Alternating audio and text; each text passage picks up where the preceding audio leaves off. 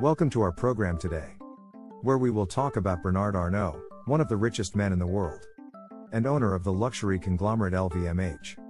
Arnault has been called the king of luxury, and his story is an inspiration to many. Join us as we discover how this man became so rich and successful. Bernard Arnault was born in Roubaix, France in 1949. From a young age, he showed a keen interest in business and art, and studied engineering at the prestigious École Polytechnique. After graduating, he worked in his father's company, which manufactured construction.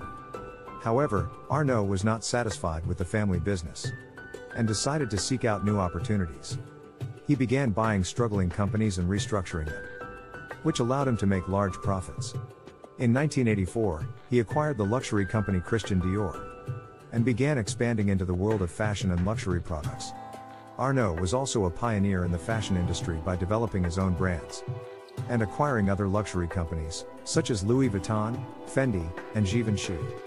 Additionally, he capitalized on the globalization of markets and the growing demand for luxury products in emerging countries. Throughout his career, Arnault has demonstrated a great ability to identify opportunities and make risky but well informed decisions. In 1988, for example, he surprised the world by acquiring the champagne maker Moet and Chandon, which later merged with the Cognac Company. Hennessy to form the luxury conglomerate LVMH.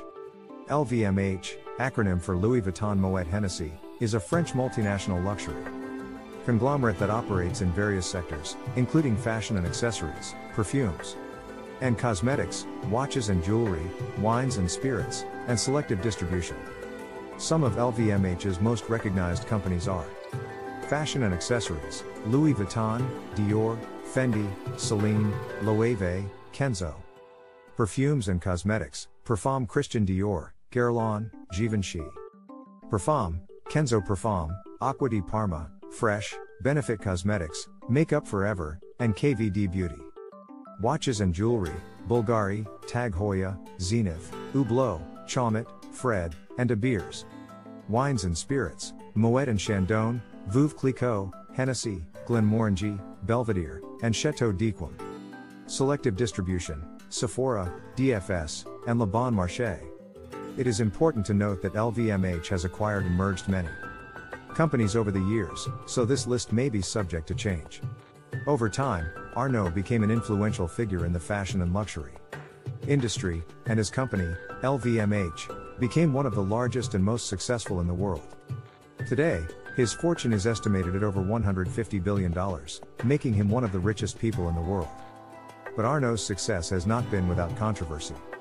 He has been criticized for some of his business practices and his control over some of the world's most exclusive brands.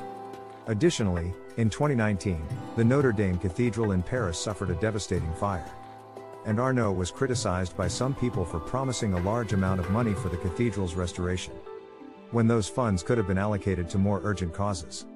Despite the criticism, it is undeniable that Bernard Arnault has had a significant impact on the fashion and luxury industry. Additionally, he has demonstrated a great ability to identify trends and capitalize on them, as well as a dedication to hard work and excellence. He is an inspiring example for those seeking success in business. However, behind his success lies a series of decisions and strategies that have not always been popular or ethical. Arnault has been criticized for his aggressive business tactics. In addition, some people have accused LVMH of engaging in counterfeiting and intellectual property theft, particularly in its production of handbags. Arnault has also been accused of using his wealth and influence. Whether you admire or criticize his business practices, there is no denying the impact that Bernard Arnault has had on the world. Thanks for watching.